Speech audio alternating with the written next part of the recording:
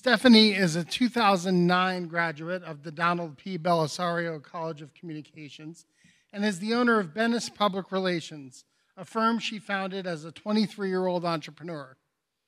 As a public relations consultant, she served as strategic communications partner for hundreds of clients in both the private and public sectors. She also passionately communicates about her entrepreneurial journey in her successful blog, The Comm Entrepreneur, and also finds time to support students through appearing as a guest lecturer, serving as an alumni mentor, and even hosting students at personal lunch sessions. One nominator spoke about Stephanie's role directing public relations efforts during the COVID 19 pandemic.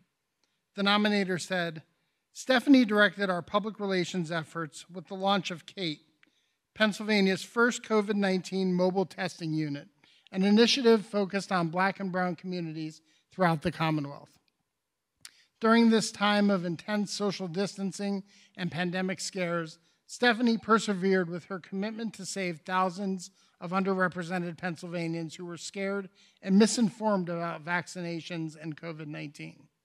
You just can't place a value on that level of sacrifice and commitment. A second nominator added Stephanie is hands on and works with her heart in all that she does for the Bellisario College of Communications in Penn State. She has served as a driving force, and her impact on the Bellisario College community has been truly transformative. We are so lucky to have her as an alumni leader.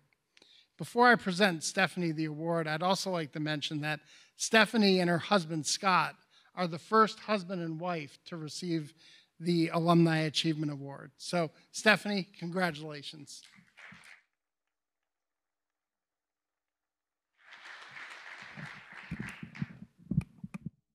Thank you, Paul. Got to make this a little bit lower. Thanks, Meredith.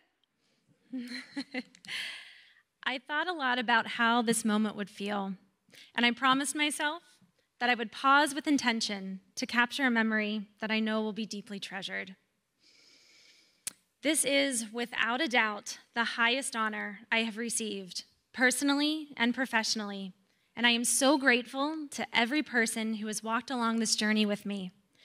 Dean Marie Hardin, the Bellisario College of Communications, my fellow alumni, and the many special people in this room tonight who have shown up for me big, not just for this award, but in so many countless ways that have without a doubt led to my ability to receive this honor. And to my husband, Scott, though I am not the first Shirley to receive the Alumni Achievement Award, together we are now the first husband and wife to earn this honor independently of one another, yet for so many reasons, because of one another. And this speaks deeply to the common thread that is Penn State. This thread, which is interwoven into my character, education, and identity, remains the most important virtue I carry with me today, and that is to show up. My admission to Penn State was by no means a guarantee for success. With every class, every commitment, every opportunity, and every obstacle, I had to show up. I had to give my best in a million little ways throughout the monotony of every day, even when it felt like it didn't matter or that no one was taking notice. I showed up consistently and passionately. During my time at Penn State, this built character, friendship, resilience, and stamina, and it did get noticed. Good grades, solid relationships, they yielded career opportunities but I had to show up. And that means more than just being present.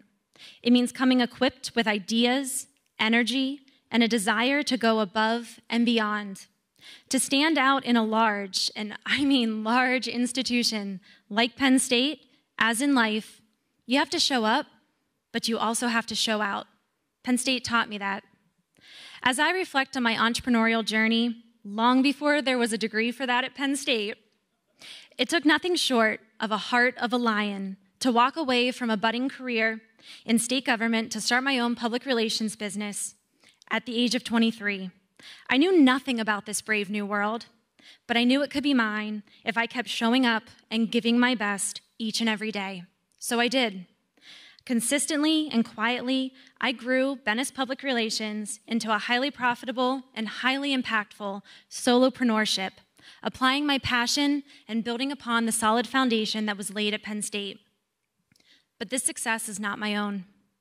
I am not self made, I am shepherd led. Especially in the last two years, God has showed up for me relentlessly, recklessly. They say sometimes God places giants in your life to bring out your David. I have surely had to face my fair share of giants. Giants that threaten to dim my light, steal my potential, and rob me of moments like this one tonight. I'm experiencing right now an amazing moment that is only possible because of the strength of God.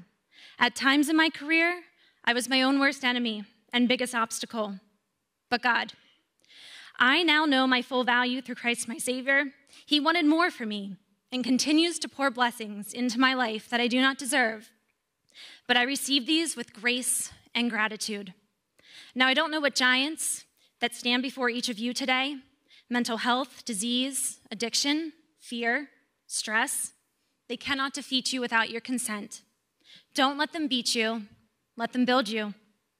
I have opened a new chapter in my life where my soul is on fire for others who see themselves on a similar journey a journey of blazing a new career path, swimming against the current, and finding yourselves staring down giants. I empower you with this you are not alone in the fight. Whether